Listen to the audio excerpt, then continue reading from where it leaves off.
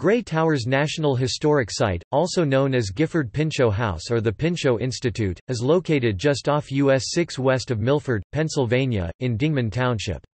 It is the ancestral home of Gifford Pinchot, first Director of the United States Forest Service USFS and twice elected Governor of Pennsylvania. The house, built in the style of a French chateau to reflect the Pinchot family's French origins, was designed by Richard Morris Hunt with some later work by Henry Edwards Ficken. Situated on the hills above Milford, it overlooks the Delaware River. Pinchot grew up there and returned during the summers when his later life took him to Washington and Harrisburg. His wife Cornelia made substantial changes to the interior of the home and gardens, in collaboration with several different architects, during that time. In 1963 his family donated it and the surrounding 102 acres 41 hectares to the Forest Service. It is the only U.S. National Historic Site managed by that agency. Three years later the Department of the Interior designated it a National Historic Landmark. Today it is open to the public for tours and hiking on its trails. It is also home to the Pinchot Institute, which carries on his work in conservation.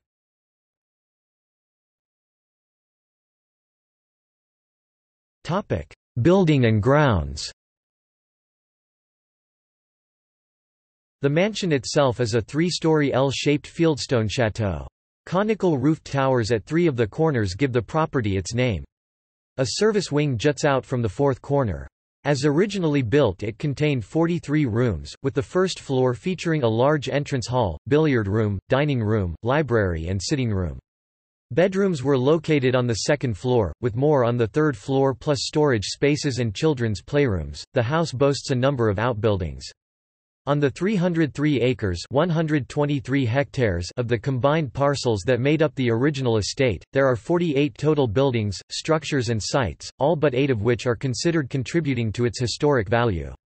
These include nearby cottages known as the letter and bait boxes, a unique outdoor dining facility called the Finger Bowl, a forester's cottage used as a residence by the Pinchot descendants, an open-air theater, the former Yale School of Forestry's summer school, and a white pine plantation established by Gifford Pinchot.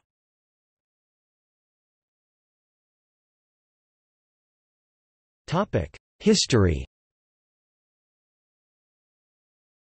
There are four distinct periods in the history of Grey Towers, its initial construction under James Pinchot and his ownership, Gifford and Cornelia Pinchot's years, the early years with the Forest Service, and a more recent period of historic preservation efforts.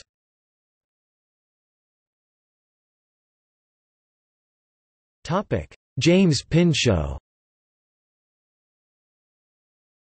In 1875, Gifford's father, James W. Pinchot, retired after a successful career in the wallpaper business and moved his family from New York City back to Milford, where he had grown up. He bought 3,000 acres 1,200 hectares of land overlooking the Delaware in Dingman Township, just outside the borough. Particularly attractive to him and his family was a small waterfall on Sawkill Creek. There, James Pinchot's primary endeavor was planning and designing Grey Towers and the land around it. At first, he developed the land along lines of the ornamental farm advocated by Andrew Jackson Downing. The original drive up the hill was meant to show off his orchards. In 1884, he retained Hunt, a family friend, to put these ideas for a French-style chateau, modelled after the Marquis de Lafayette's Lagrange and reflecting the Pinchot family's origin in France, on paper for eventual construction. Two years later it was complete, but not before Pinchot altered the plans slightly to save money. While Hunt was away in Europe, he also had Edwards Ficken alter Hunt's design slightly when bedrock on the site made it difficult to build the raised foundation Hunt had originally planned. Edwards Ficken added some of his own decorative touches to the house, such as the front door, interior paneling and wrought iron porches on the south and east facades. Almost all the materials came from local sources. Hemlock timbers were floated down the Delaware on rafts from Lackawaxen, and another river town, Shohola, provided the bluestone and windows. Roofing slate came from across the river, in Lafayette, New Jersey. All the workers and contractors hired were Milford residents. The total cost was $19,000 for the house itself and $24,000 for furnishings. In 1906, a design by Frederick Law Olmsted, who had died three years earlier, was implemented for an old cemetery on the property. Olmsted's contribution is unclear, as all had existed from the early 19th century, before the Pinchot family's ownership of the land. Today it is in poor condition. James Pinchot had come to regret the environmental damage forest product industries such as his had done, and he endowed the Yale School of Forestry Forestry, the first graduate forestry program in the country. From 1901 to 1926, the Grey Towers estate grounds served as the school's primary summer preparatory fieldwork location. Only ruins of the educational buildings exist today.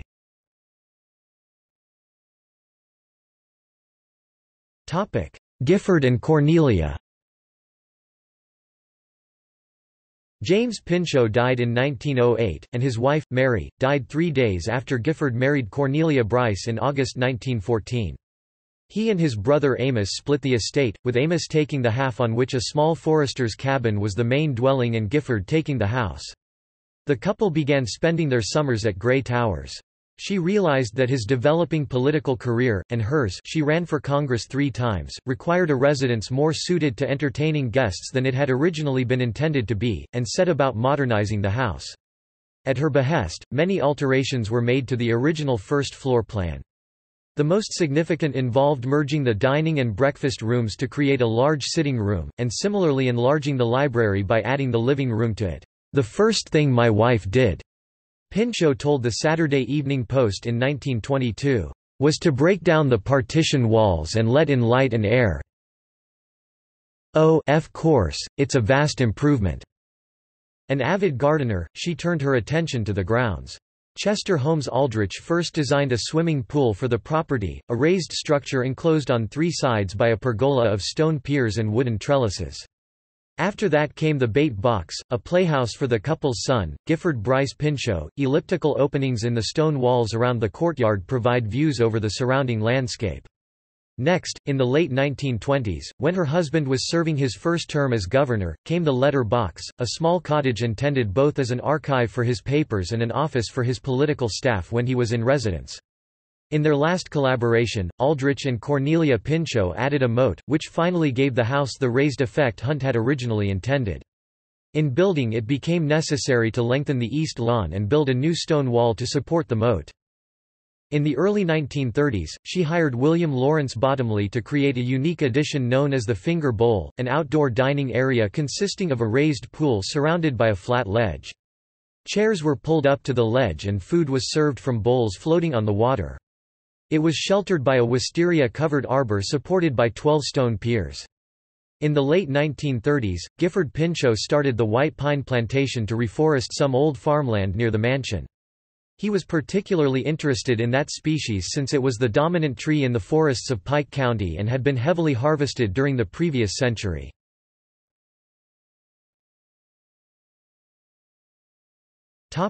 Forest Service After his mother died in 1960, Gifford Bryce Pinchot donated the building to the Forest Service, as the family had planned. The agency intended to use the house as a conference center, and had to replace some interior walls that had suffered insect and water damage. Various other rooms in the wing and second floor were converted to storage or office use, and the swimming pool was filled in, in 1979, when it became a safety and maintenance problem.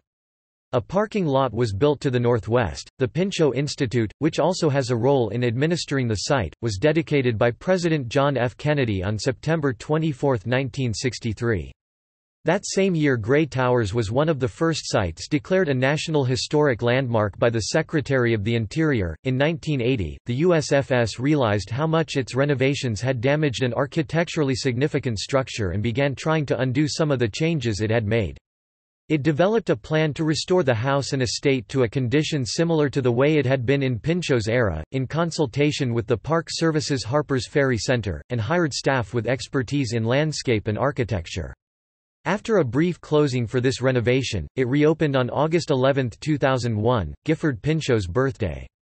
The state of Pennsylvania's Department of Natural Resources also made a $2 million grant available for renovations to the entrance, entry road and parking facilities. In 2007 the USFS restored the swimming pool.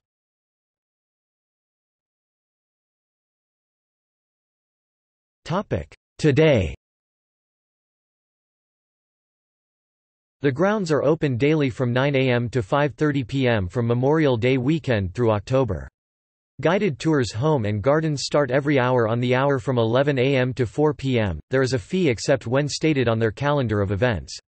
Self-guided interpretive trails devoted to the history of the Pinchot family, forestry and the bluebirds nesting in the woods are available on the grounds.